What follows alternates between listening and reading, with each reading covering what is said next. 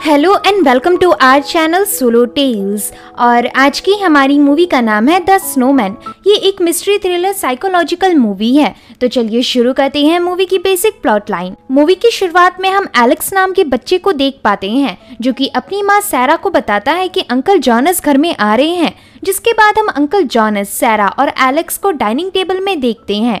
यहाँ Jonas Alex से कुछ हिस्ट्री के सवाल पूछता है, जिसका जवाब न देने पर जॉनस सैरा को ज़ोर का तमाचा मारता है और इस तमाचे के कारण सैरा नीचे गिर जाती है। साथ ही में सैरा जिन कॉफ़ी बीन्स को गिन रही थी, वो भी ज़मीन में बिखर जाती है। अपनी माँ को नीचे गिरा देख एलेक्स उन कॉफ़ी बीन्स को उठाकर बाहर भाग जाता है और स्नोमैन बनाने लगता है, जिसके थोड़ी देर बाद एलेक्स घर में वापस आता है और अपनी माँ को चुपके से जॉनस के साथ सोता पाता है।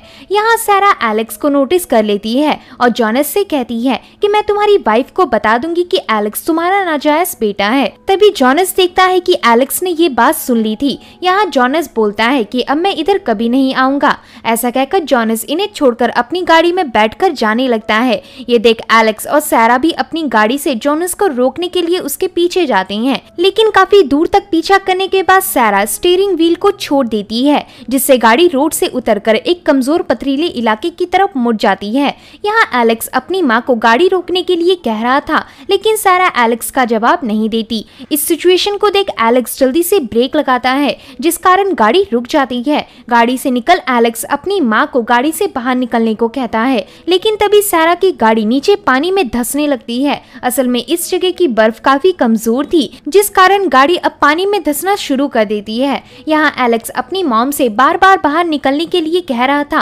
लेकिन हम देख पाते हैं कि सारा पूरी तरह से टूट चुकी थी। इसलिए अब वो बस मरना चाहती थी, जिसके बाद सारा की गाड़ी पानी में डूब जाती है और हम बस एलेक्स के चीखने की आवाज़ सुन पाते हैं और ये सीन यही खत्म होता है। अब कहानी काफ़ी सालों आगे बढ़ती है। यहाँ हम हैरी को देखते हैं, जो कि पार्क में शराब पीकर सो रहा था। हैरी को जब होश आता है, तब हैरी इस जगह से निकलकर अपने घर वापस आता है। यहाँ हैरी नोटिस करता है कि उसके घर का दरवाज़ा खुला हुआ है, जिसे देख हैरी चौकन्ना हो जाता है और अपनी गन लेकर आगे बढ़ने लगता है। तभी हम देखते हैं कि घर में पेस्ट कंट्रोल करने फ्रेडरिक आया था और फ्रेडरिक को हैरी के घर के ओनर ने ही घर की चाबी दी थी। फ्रेडरिक की बात सुन हैरी फ्रेडरिक को जल्दी काम निपटाने कहता है। इसके बाद हैरी घर से निकलकर मेलिसा की आर्ट लाइब्रेरी को विज़िट करता है। असल में मेलिसा हैरी की एक्स गर्लफ्रेंड है। नेक्स्ट सीन में हम पुलिस डिपार्टमेंट में ओल्गा को देख पाते हैं, जो कि पुलिस ऑफिसर्स को एक न्यू डिवाइस के बारे में बता रही थी। ओल्गा का कहना था कि ये डिवाइस बहुत एडवांस है और इसमें रिकॉर्डेड हर चीज़ 12 घंटों के बाद ऑटोमेटिकली पुलिस सर्वर में सेव हो जाएगी, जो कि केसेस के डाटा को सेव रखने में हेल्प करेगा और हर एक ऑफिसर के डिवाइस में उन्हीं का फिंगरप्रिंट होगा, जिससे कि वो ही अपने डिवाइस को ऑन कर सकेंगे।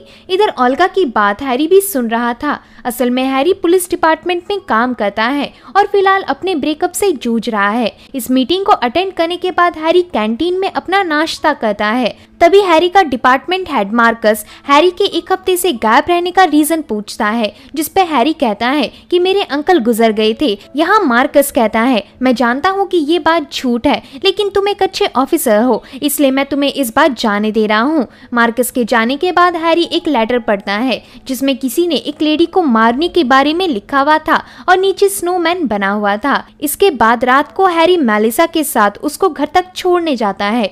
यहाँ हमें पता चलता है कि मेलिसा का एक बेटा भी है, जिसका नाम ओलेग है। ओलेग हैरी का बेटा नहीं है, लेकिन फिर भी हैरी ओलेग को अपने बच्चे की तरह ट्रीट करता है। इधर हम ये भी जान पाते हैं कि अब मेलिसा अपने न्यू बॉयफ्रेंड मैथियस के साथ रिलेशनशिप में है। मेलिसा को छोड़ने के बाद हैरी को हम एक बार में नशे की हालत में देखते हैं। इसके बाद सीन आता है लैना पर। लैना अपने घर की तरफ़ जा रही होती है, लेकिन हम देख पाते हैं कि एक रेड कार लैना का पीछा कर रही थी। तभी लैना को एनी का मैसेज आता है। एनी, असल में लैना की बेटी है। एनी को मैसेज करते टाइम लैना नोटिस करती है कि उसके रुकने से एक रेड कार भी रुक गई है।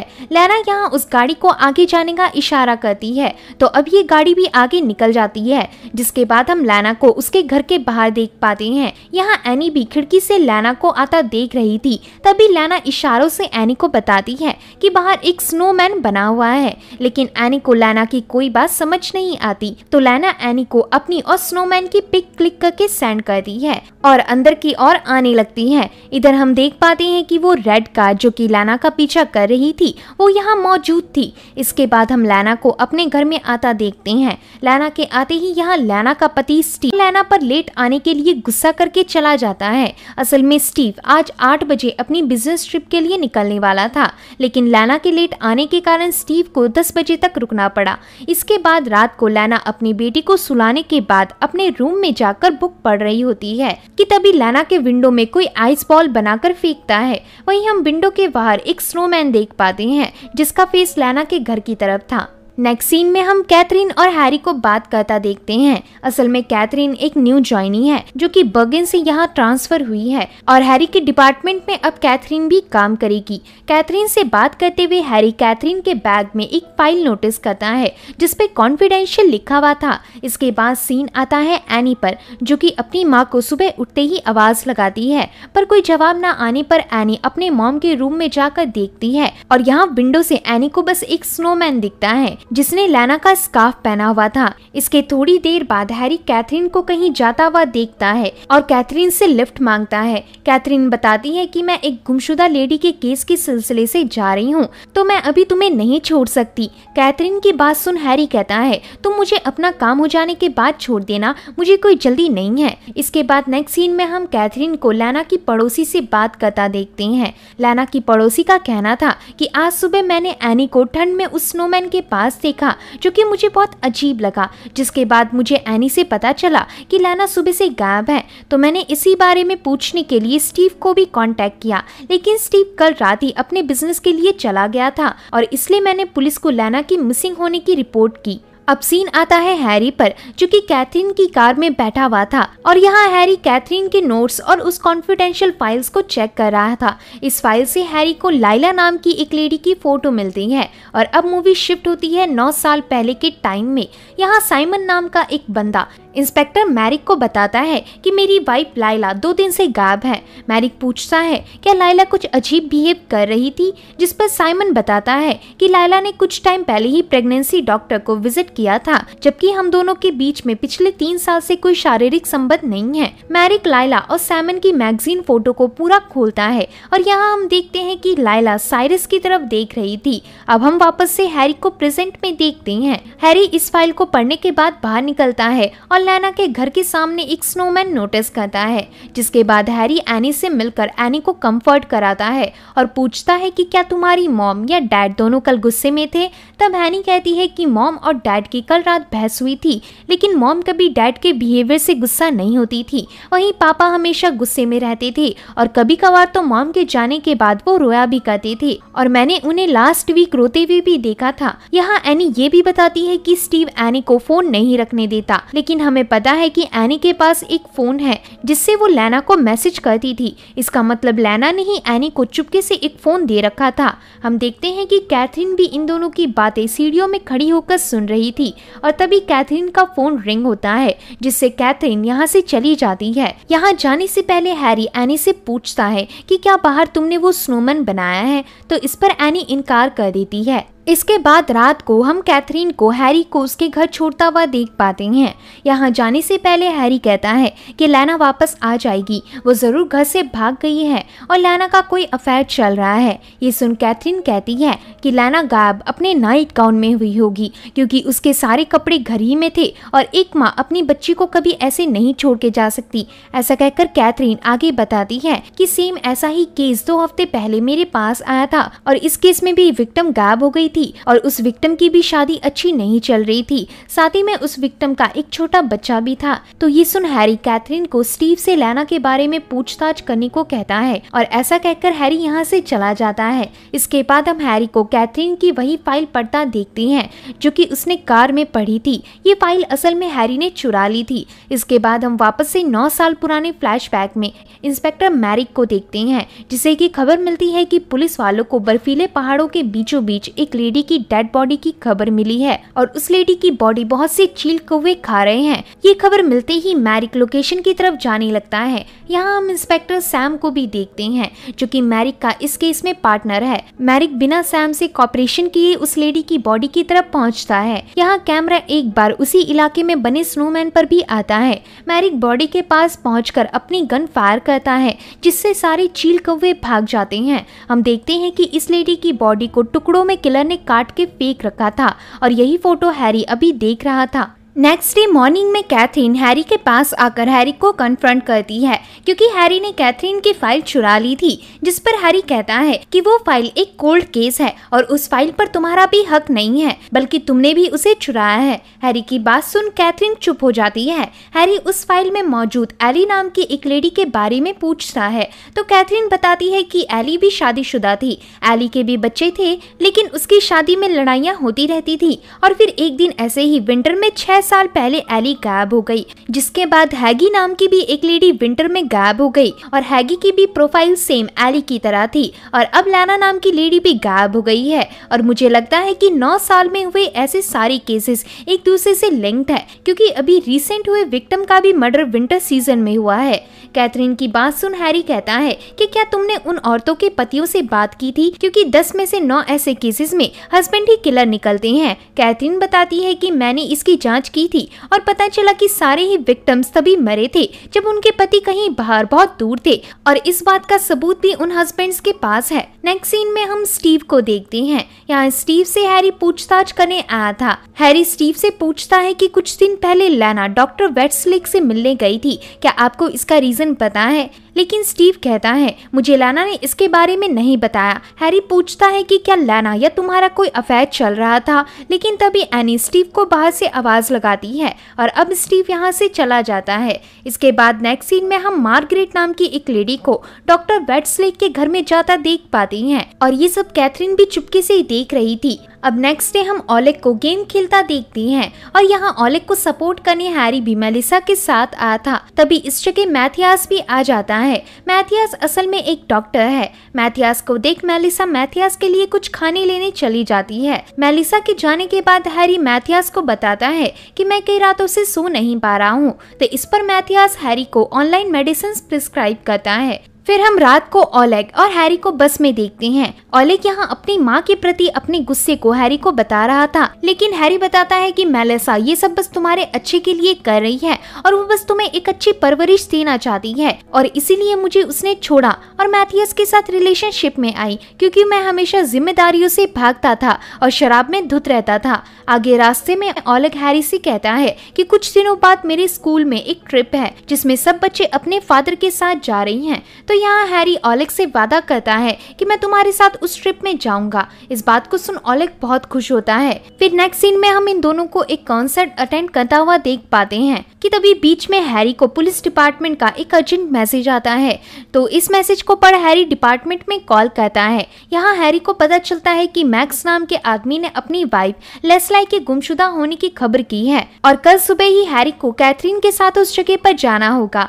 तो अब कॉन्सर्ट खत्म होने के बाद हैरी ओलेक को घर छोड़ने जाता है और मैथियास और मैलिसा को बताता है कि मैं ओलेक के साथ ओलेक के स्कूल ट्रिप में जाने वाला हूँ। इसे सुन मेलिसा थोड़ी हैरान होती है, क्योंकि हैरी ने कभी भी ओलेक के प्रति अपनी ज़िम्मेदारी को ज़ाहिर नहीं किया था।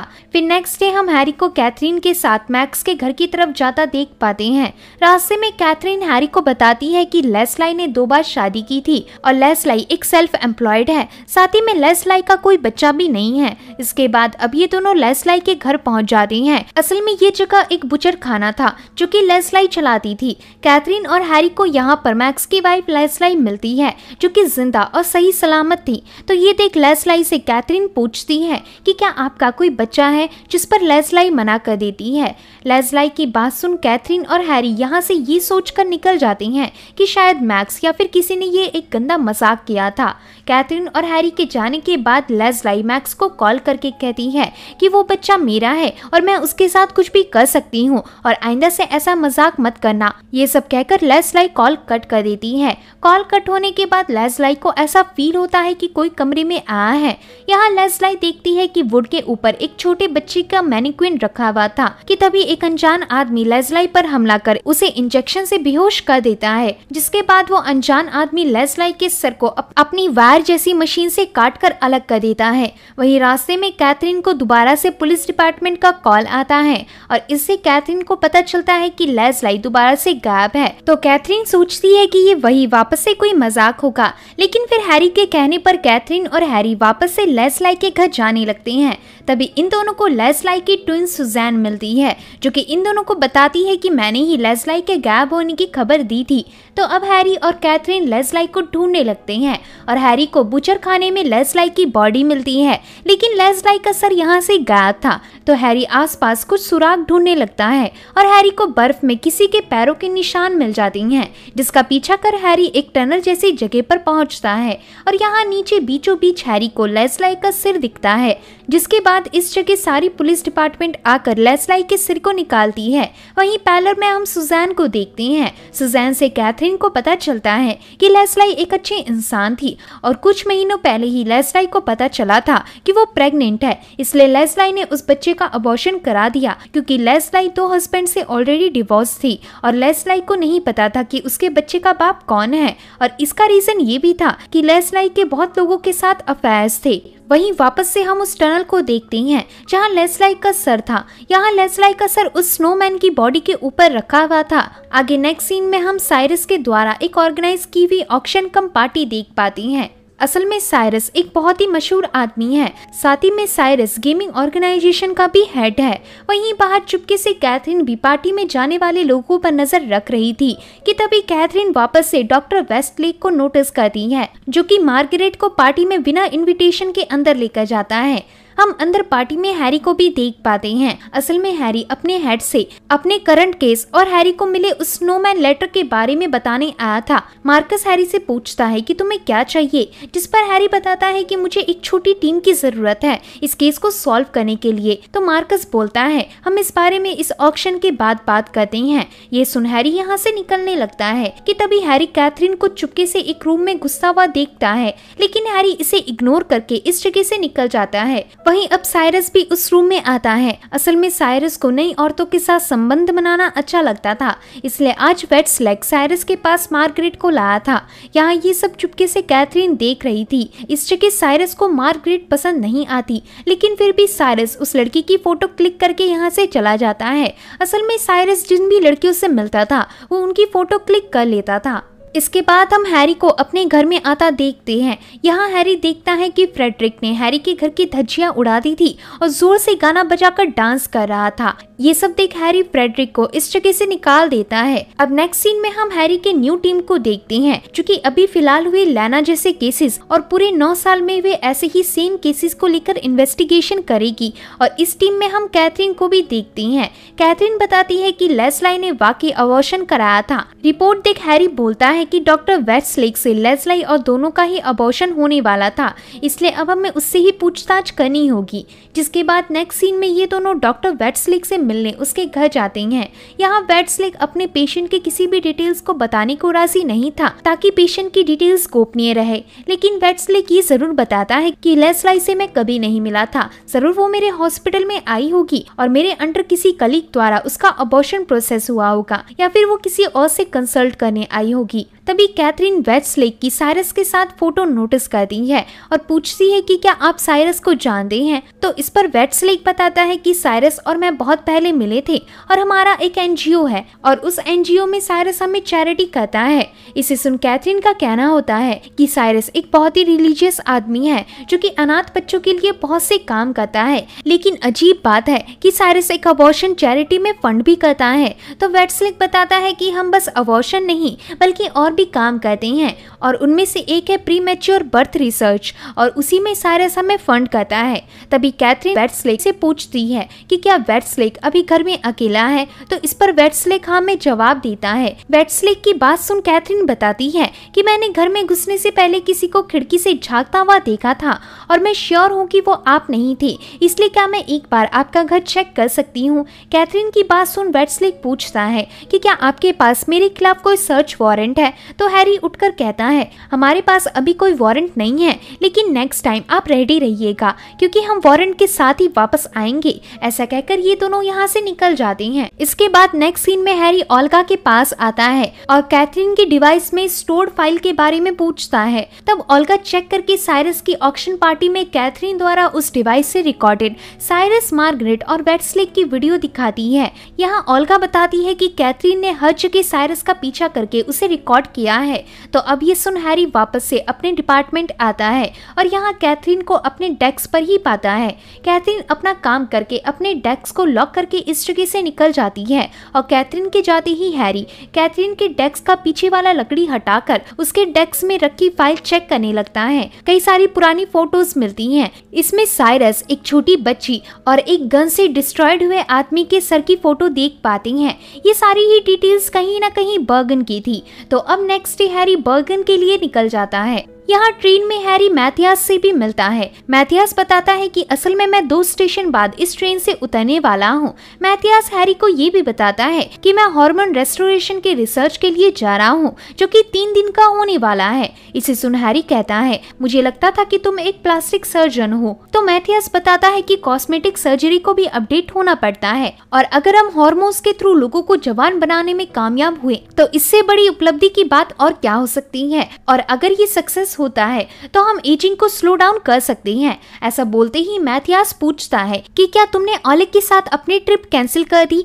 ये सुनते ही हैरी को याद आता है कि आज ही ओलेग की वो ट्रिप थी, जिसमें हैरी ने ओलेग के साथ जाने का वादा किया था। वहीं पैलर में हम ओलेग को देखते हैं, जो कि हैरी का इंतज़ार कर रहा था, और फिर हैरी के ना आने पर ओलेग मलिसा के साथ वापस घर चला जाता है। वापस से हम मैथियास को देखते हैं, जो कि ओलेग को कॉल करके बोलता है कि हैरी ने मुझे कल रात मैसेज किया था कि वो आ नहीं सकता और उसे ट्रिप कैंसिल करनी पड़ रही है, लेकिन मैंने वो मैसेज नहीं देखा, और इसीलिए मैथियास ओलेग से माफ़ी माँगता है। जिसके बाद जब मैथियास कॉल कट करता है, तब हैरी बोलता है कि तुम्हें मेरे लिए उनसे झूठ बोलने की कोई ज़रूरत नहीं। लेकिन यहाँ हम मैथियास के बिहेवियर से समझ पाते हैं कि मैथियास वाकई एक अच्छा आदमी है, जो कि अपनी रिस्पॉन्सिबिलिटी से पीछे नहीं भागता। और शायद इसीलिए मेलिसा ने हैरी की जगह मैथियास को चुना।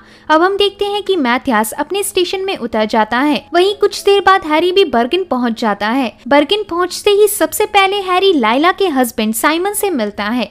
साइमन हैरी को बताता है कि पहले मेरा खानदान नदी के उस पार सारी जमीनों का मालिक हुआ करता था, लेकिन फिर साइरस ने हमारी कंपनी ज्वाइन की। साइरस वाकई ही अपने काम के प्रति बहुत ज़्यादा फोकस था और मेरे पिता को साइरस पर बहुत भरोसा था। हमारा बिज़नेस भी बहुत अच्छा चल रहा था, इसलिए हम लोगों ने साइरस को शेयर्स ऑफ़र किए और फिर एक साल के अंदर ही साइरस ने हमें हमारी कंपनी से निकाल फेंका और सारी जमीनों का मालिक बन सब कुछ बेच दिया। इससे सुनहरी पूछता है कि क्या कोई कैथरीन नाम की लेडी आपसे मिलने कभी आई थी तो इस पर साइमन मना कर देता है। आगे साइमन बताता है कि मुझे तो मेरी वाइफ और साइरस के बीच में लगता था कि कुछ रिलेशन है बट इसका मैं कभी पता नहीं कर पाया। हैरी पूछता है कि क्या आपकी वाइफ ने किसी डॉक्टर को विज़िट किया था? तो इस पर साइमन कहता है हाँ उस डॉक्टर का नाम मॉटॉन था। इसे सुन हैरी थोड़ा हैरान होता है और पूछता है कि क्या आपकी वाइफ की कभी वेट्सलिक से मुलाकात हुई थी? तो वेट्सलिक की फ़ोटो देख साइमन कहता है, नहीं।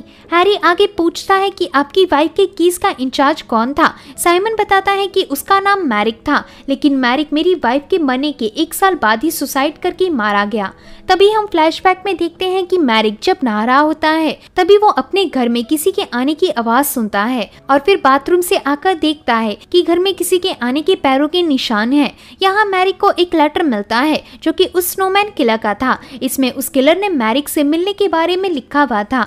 आगे नेक्स्ट सीन में हम मैरिक को अपने ऑफ़िस में देखते हैं। यहाँ पर मैरिक लाइला के अबॉर्शन के बारे में जानने के लिए हॉस्पिटल को कॉल करता है और अपनी अपॉइंटमेंट डॉक्टर से फिक्स कर लेता है। हम देखते हैं कि डिपार्टमेंट के लोग सैम का बर्थडे सेलिब्रेट कर रहे थे, लेकिन मैरिक को इसमें कोई इंटरेस्ट नहीं था। इसलिए मैरिक खिड़की से निकलकर बाहर चला जाता है।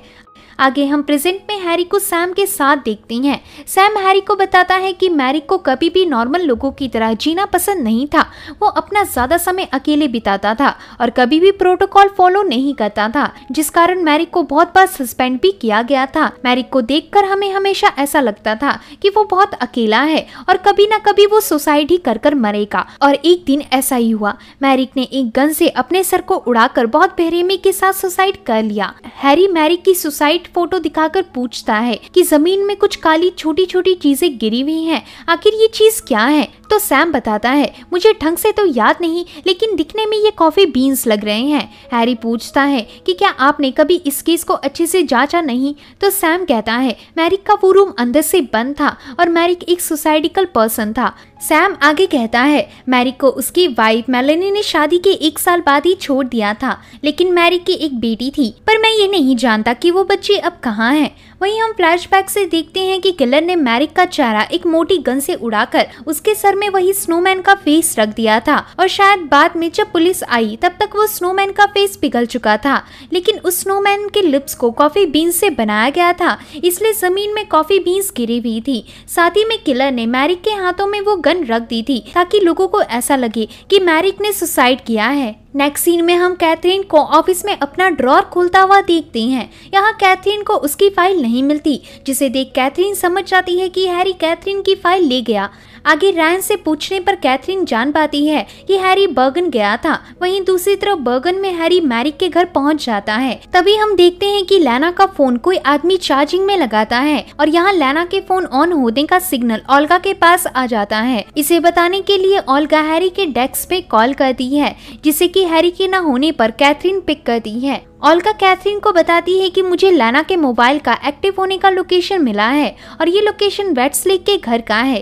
तो अब कैथरीन वेट्सलेक के घर निकल जाती है। वहीं दूसरी तरफ़ हैरी मैरिक के घर का रूफ टॉप हटाकर कुछ चेक करने लगता है, जिसके बाद हम वेट्सलिक के घर में कैथरीन को गुस्सा देख पाती हैं। अंदर घुसकर कैथरीन लैना के फ़ोन पर कॉल करती है। हम देखते हैं कि लैना का फ़ोन डीप फ्रीजर में टेप से चिपका हुआ था और फ़ोन साइलेंट में था। दूसरी तरफ़ हैरी मैरिक के घर में छत से अंदर घुस आता है। वहीं पैलर में हैरी वेट्सले के घर में लैना का फ़ोन ढूंढ रही होती है। दूसरी तरफ़ हैरी को एक बच्ची की फ़ोटो मैरिक के घर में मिलती है और साथ ही में एक रेन कोट मिलता है, जिसमें कैथरीन का नाम लिखा हुआ था। इसका मतलब फ़ोटो में वो बच्ची और कोई नहीं, बल्कि मैरिक की बेटी कैथरीन है। पैलर में वेट्सले के घर में कैथरीन वेट्सले के गैरेज का लाइट ऑन देखकर उसे ओपन करती है।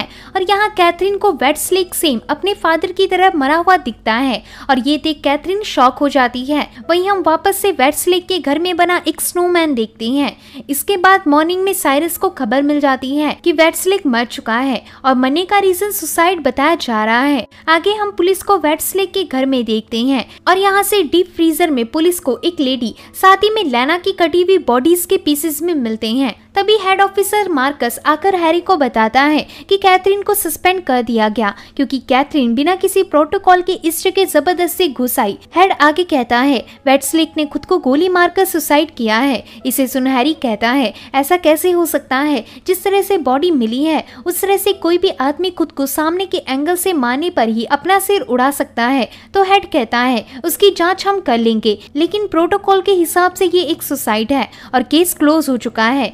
तभी हैरी यहाँ एक सीक्रेट बर्फ़ में धसा हुआ देख पाता है, जिसके कुछ देर बाद हम मेलिसा को कॉल पर बताता सुन पाती हैं कि ओलेग घर से भाग चुका है और मेरे मैसेज का रिप्लाई भी नहीं कर रहा है। अब वापस से सीन आता है हैरी पर, जो कि मैरिक और वेट्सलिक की फ़ोटो देख रहा था। यहाँ हैरी रायन से इन फ़ोटो को लेकर यहाँ से निकल जाता है, जिसके बाद रात को हैरी कैथरीन के घर पहुँचता है। लेकिन इस जगह कैथरीन उल्टा ही हैरी पर हमला कर देती है। तो कैथरीन को काबू में लाने के लिए हैरी उस पर चढ़ जाता है।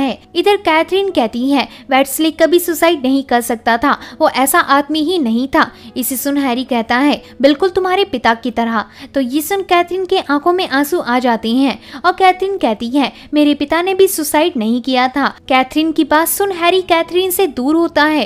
कैथरीन हैरी से आगे कहती है कि लाइला और साइरस का अफेयर चल रहा था और इसी बारे में मेरे फादर पे इन्वेस्टिगेट कर रहे थे, लेकिन उनको किसी ने मार डाला और रही बात वेट्सलिक की तो वेट्सलिक बहुत टाइम से साइरस के लिए काम कर रहा था और जब ये सारे मर्डर्स नौ साल पहले बर्गन से शुरू हुए थे, तब साइरस और वेट्सलिक एक साथ थे। लेकिन वेट्सलिक ने किसी का भी मर्डर नहीं किया, क्योंकि वेट्सलिक हमारे किसी भी विक्टिम के अबॉर्शन में मौजूद ही नहीं था और सारी ही विक्टिम ने अपना अबॉर्शन फिर कहीं और से करवाया था। इसे सुन हैरी कहता है, लैना, और दो हफ़्ते पहले गुम हुई लेडी की बॉडी के पीसेस पुलिस को वेट्सलेक के घर में मिली हैं। कैथरीन कहती है, ज़रूर साइरस ने ये सब किया है, ताकि वेट्सलेक को फंसा कर खुद बच जाए। आगे कैथरीन हैरी से पूछती है कि क्या वाकई तुम्हें लगता है कि वेट्सलेक ने मर्डर किया है, जिस पर हैरी कहता है, मुझे कुछ समझ नहीं आ रहा। तो कैथरीन हैरी को ड्रिंक ऑफ़र करते हुए बोलती है, इसे पीकर दोबारा सोचो, शायद तुम्हें समझ आ जाए। लेकिन हैरी इसे नहीं पीता और कैथरीन को सांत्वना देते हुए यहाँ से निकल जाता है।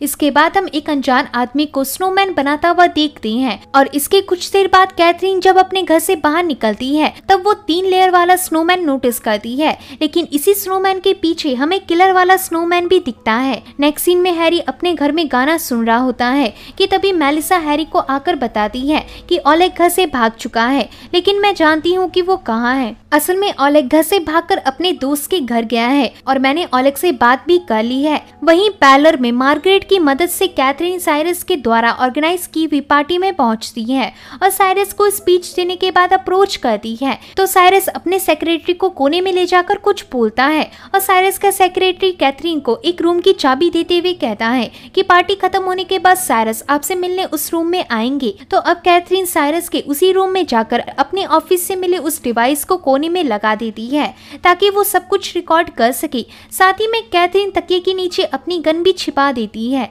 दूसरी तरफ़ मेलिसा को मैथियस का कॉल आता है। मैथियस मेलिसा को कहता है कि मैंने तुम्हें घर पर कॉल किया था। ये बताने के लिए कि ओलेग की अभी तक मुझे कोई खबर नहीं मिली है, लेकिन तुमने वो कॉल नहीं उठाया। तो मेलिसा बताती है कि मैं हैरी से मिलने आई थी। इसे सुन मैथियस को इतना अच्छा नहीं लगता, लेकिन मैथियस इसे ज़ाहिर होने नहीं देता।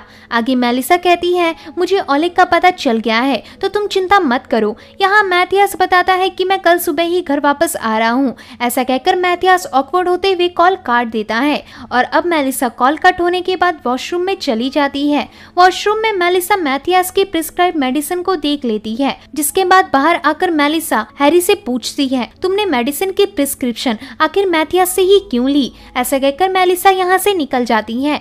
वहीं हम कैथरीन को देखती हैं, जो कि बेड पर बैठी हुई थी, कि तभी कैथरीन को कुछ आवाज़ आती है और कैथरीन बेड में अपनी गन ढूँढने लगती है। लेकिन कैथरीन को वो गन नहीं मिलती। तभी अचानक अचानक से किलर कैथरीन को दबोचकर कैथरीन को भी पॉइजन इंजेक्ट कर देता है और इसके बाद किलर बेड पर एक प्लास्टिक की शीट बिछाकर कैथरीन की फिंगर को काट कर अलग कर देता है, जिसके बाद कैथरीन के डिपार्टमेंट से मिले उस डिवाइस को कैथरीन के फिंगरप्रिंट से अनलॉक करता है और ये सीन यही कट हो जाता है। इसके कुछ देर बाद साइरस अपनी पार्टी से निकलकर कैथरीन के रूम में आता है, लेकिन यहाँ कैथरीन नहीं थी। अब हम मॉर्निंग में हैरी को देख पाती है, जो की कॉफ़ी पीते हुए बाहर देख रहा था, तभी यहाँ हैरी अपने घर के नीचे कैथरीन की कार को नोटिस करता है और इस कार के ऊपर एक स्नोमैन बना हुआ था। ये देख हैरी जल्दी से उस कार के पास जाकर उस कार को खोलता है और यहाँ हैरी को कैथरीन की डेड बॉडी मिलती है। लेकिन इस बॉडी में हैरी कैथरीन की कटी हुई फिंगर को नोटिस नहीं करता। अब हम नेक्स्ट सीन में हैरी और रैन को ओल्गा के पास देख पाते हैं। यहाँ ओल्गा कैथरीन के डिवाइस की डाटा को देखती है और इन्हें कैथरीन की रिकॉर्डेड एक लास्ट वीडियो मिलती है। इस वीडियो को देखने से पहले हैरी रैन को कैथरीन के कॉल डिटेल्स निकालने कहता है और फिर उस रिकॉर्डेड वीडियो को देखने लगता है। इस वीडियो में हम स्टीव को देख पाते हैं, जिसे कि कैथरीन ने रिकॉर्ड किया था। ये वीडियो देख हैरी स्टीव के पास आता है और कहता है, तुमने पूछताछ के टाइम में मुझे बताया था कि लैना अकेले ही वेट्स लेक के पास गई थी, बल्कि ऐसा नहीं था। असल में तुम भी लैना के साथ डॉक्टर विज़िट में गए थे और ये बात मैंने कैथरीन की रिकॉर्डेड वीडियो में सुनी है। तो अब स्टीव बताता है कि एनी मेरी बच्ची नहीं है और लैना का अफेयर किसी गैर मर्द के साथ था, जिस कारण मेरी लैना से हमेशा लड़ाई होती रहती थी। लेकिन मैंने लैना को कभी ये बात नहीं बताई कि मुझे एनी की सच्चाई पता है। असल में एनी के होने के कुछ टाइम बाद ही मुझे पता चला कि मैं इनफर्टाइल हूँ और कभी बाप नहीं बन सकता। इसी से मैं समझ गया कि लैना मुझसे बहुत टाइम से चीट करती आ रही थी।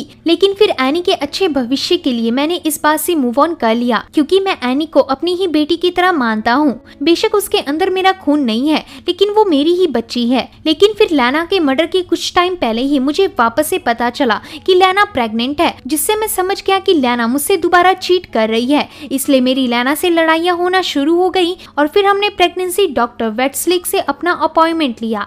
लेकिन हम दोनों कभी वेट्सलिक से मिले ही नहीं, बल्कि हम दोनों उस दिन एक हार्मोन स्पेशलिस्ट से मिले थे। हैरी, ये सुन, उस हार्मोन स्पेशलिस्ट का नाम पूछता है और ये सीन यही कट हो जाता है। वहीं कुछ देर बाद हम मेलिसा को देख पाते हैं जिसे कि हैरी का कॉल आ रहा था। था कि तभी मैथियास भी अपनी ट्रिप से वापस आ जाता है और मैथियास के यहाँ आने के कारण मेलिसा हैरी का कॉल नहीं उठाती। मैथियास मेलिसा से ओलेग के बारे में पूछता है तो मेलिसा बताती है कि ओलेग अभी स्कूल में है। यहाँ मेलिसा पूछती है, आखिर तुमने हैरी को मेडिसिन प्रिस्क्राइब क्यों किए? तुम मेरे लिए इतना सब क्यों कर रहे हो? तो मैथियास कहता है, ये सब मैंने कभी तुम्हारे लिए किया ही नहीं था। दूसरी तरफ़ हम हैरी को मैथियास के घर में देख पाते हैं और यहाँ हैरी को सारे विक्टिम्स के साथ साथ ओलेग और मेलिसा की डिटेल्स मिलती हैं। वहीं पैलर में मैथियास ओलेग को स्कूल से पिक कर लेता है। कार में मेलिसा का फ़ोन रिंग होता है। इसे सुन ओलेग पूछता है कि आपके पास मॉम का फ़ोन क्या कर रहा है? हम देख पाते हैं कि मेलिसा के फ़ोन में हैरी ही कॉल कर रहा था।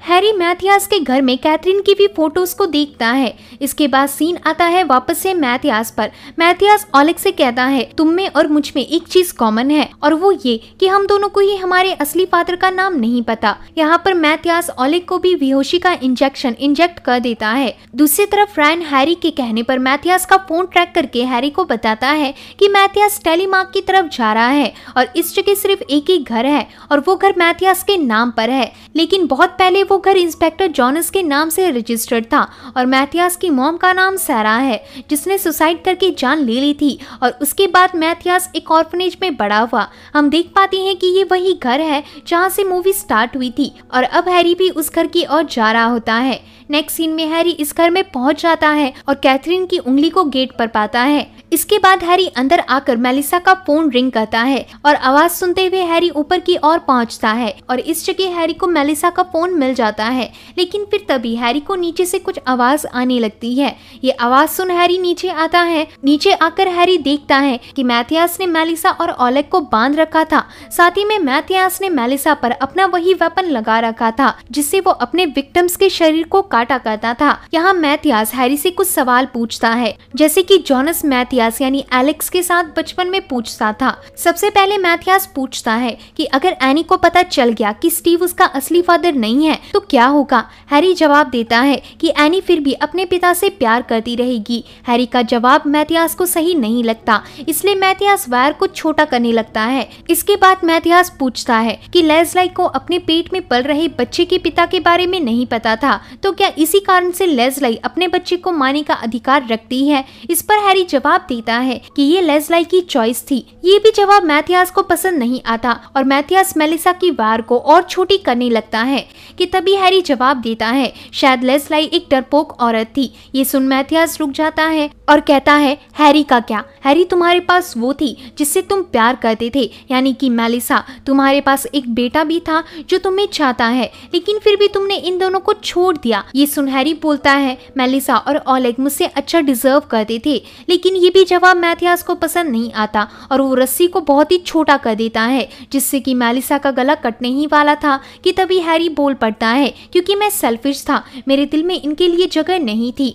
हैरी की बात सुन यहाँ मैथियास बताता है कि जब मैंने पहली बार तुम्हारे बारे में न्यूज़ में पढ़ा था तो मुझे लगा कि तुम एक अच्छे ऑफिसर होने के साथ साथ एक अच्छे बॉयफ्रेंड और एक अच्छे बाप भी हो, लेकिन फिर मुझे पता चला कि तुम्हारी निजी ज़िंदगी बहुत ही बेकार है। ऐसा कहकर मैथियास आगे बोलता है, अब आखिरी सवाल तुम्हारा बेटा ओलेग, जिसे नहीं पता कि उसका असली बाप कौन है, क्या इस तरह के बच्चों की माओ को जीने का अधिकार है? मैथियास के ऐसा बोलते ही हैरी मैथियास पर हमला कर देता है और मेलिसा के गर्दन से उस वायर को हटाने में कामयाब होता है। लेकिन यहाँ हैरी को अपनी उंगली गंवानी पड़ती है, जिसके बाद इन दोनों में खूब छीना झपटी होती है और फिर मैथियास यहाँ से भाग जाता है। मैथियास के जाते ही हैरी मेलिसा का टेप हटाता है। यहाँ मेलिसा हैरी को मैथियास को मार डालने का कहती है। तो इसे सुन हैरी मैथियास को ढूंढते हुए उसी जगह जा पहुँचता है, जहाँ एलेक्स यानी कि मैथियास की मॉम ने सुसाइड किया था। तभी मैथियास दूर से हैरी पर गोली चला देता है और यहाँ हैरी नीचे गिर जाता है। हैरी मैथियास से कहता है, तुम गलत हो। तुम्हारी मॉम नहीं, बल्कि तुम्हारे फादर तुम्हें नहीं चाहते थे। अगर तुम पैदा नहीं होते तो ये तुम्हारे फादर के लिए अच्छा होता। मैथियास की बात सुन हैरी मैथियास की और गन तानते हुए आगे बढ़ने लगता है कि तभी मैथियास फिसल कर पानी में गिर जाता है और यहाँ मैथियास पानी में बह जाता है। जिससे हम अंदाज़ा लगा सकते हैं कि मैथियास मारा गया। इसके बाद हैरी वापस से मेलिसा और ओलेग के पास आता है। फिर हम कुछ दिनों बाद हैरी को पुलिस डिपार्टमेंट में देखते हैं, जिसके साथ ये मूवी एंड हो जाती है। दोस्तों, मूवी से हम समझ पाते हैं कि मैथियास उर्फ़ एलेक्स अपने बचपन के ट्रॉमेटिक इवेंट्स के कारण बहुत ही ज़्यादा ट्रॉमेटाइज था और ये ट्रॉमा उसके लिए इतना गहरा था कि वो बड़े होने के बाद भी इससे बाहर नहीं निकल पाया। और वो औरतें, जो अपने पति और एक बच्चे के बावजूद भी दूसरे आदमियों के साथ गैर संबंध बनाती थी, उनको ढूंढ ढूंढ के मारा करता था और उन्हीं में से लाइला, लेजलाई और बाकी सारी औरतें भी शामिल थी। और मैथियास अपने मरने तक सिर्फ़ अपनी मॉम को ही इस बात का दोषी मानता था। वो सोचता था कि अगर उसकी मॉम किसी गैर आदमी के साथ संबंध में नहीं आई होती तो शायद आज उसकी भी ज़िंदगी नॉर्मल होती और वो भी एक अच्छा फ्यूचर जी पाता। वैसे अगर मैथियास चाहता तो अपने ट्रॉमा से रिकवर होके एक अच्छी ज़िंदगी जी सकता था, क्योंकि मैथियास एक बहुत ही अच्छा डॉक्टर था, लेकिन फिर भी उसने एक गलत राह चूज़ की। तो इस पर आप लोगों का क्या कहना है? कमेंट सेक्शन में हमें ज़रूर बताएँ।